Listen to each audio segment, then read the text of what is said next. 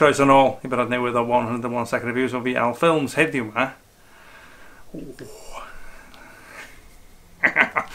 Siarad amdan hwn.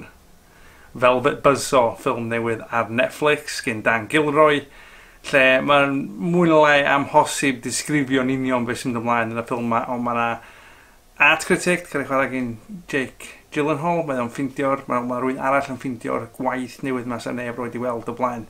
A mae pawb di gwirionio fo slow park mae pethau'n dechrau mynd yn um, aruthrol o ddrwg i bawb. Oce, okay, reit. Nôl myneiliad. Oce, okay, reit, Velvet Buzzsaw sydd ar Netflix rwan. O'n i'n aruthrol excited efo'r ffilm ma'n dod allan. So well gyna i fod am unwaith sa hwn wedi dod allan yn y cinema i fod yn hollol onast a'r heswm ydy Dan Gilroy y cyfarwyddwr, um, yn ôl efo Jake Gyllenhaal, yn ôl efo ei wraig wrth gwrs, yn ei hein di'r pobol a bob dim sydd yn y fo, nath o da Nightcrawler allan rhyw illa 4-5 mlynedd yn ôl, a Nightcrawler yn o'n ffilmiau mwy a ffeifaret fi o'r, o'r, or century ma, dim cwestiwn o gwbl rhyw weld o dwi'n faint o weithiau, so mae'r syniad o fatha'r tân creadigol yna yn cael ei ail roed yn ôl efo'i gilydd yn rhywbeth sy'n neu fi wirioni, os ni'n licio cael gweld o ar y sgrin mawr, ond na fo, mae o wan ar Netflix fel dwi'n deud.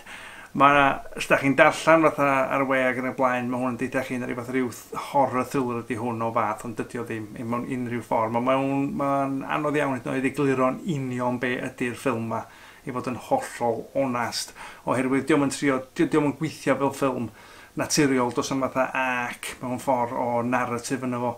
Mae'n mynd i adach chdi ar y diwedd yr un mor efo gyn gymaint o cwestiynau oedd chdi ar y dechrau be ydi o di, mae'n trio jyst deud pethau, mae'n trio gofyn cwestiynau amdan celf, um, pw bia celf, pwy sy'n neud celf, pa effaith mae cael hynna'n neud yna chdi, y syniad mae fod gen ti'r gwaith anhygol mae ti wedi clywed amdano, maen nhw i gyd yn private ownership, maen nhw i gyd mewn fatha storage havens, maen nhw'n dod allan allan tra mis, mae rhaid ti redeg i weld yma nhw galeri, ond na bod y jans ti weld nhw, di hynna'n iawn, yr inflated nature o'r market, y ffaith fod y mor hawdd manipulator preisyn o'r market, mae'n trio deud dwi'n faint o bethau dan gelf, a mae o'n hollol hollol anhygol.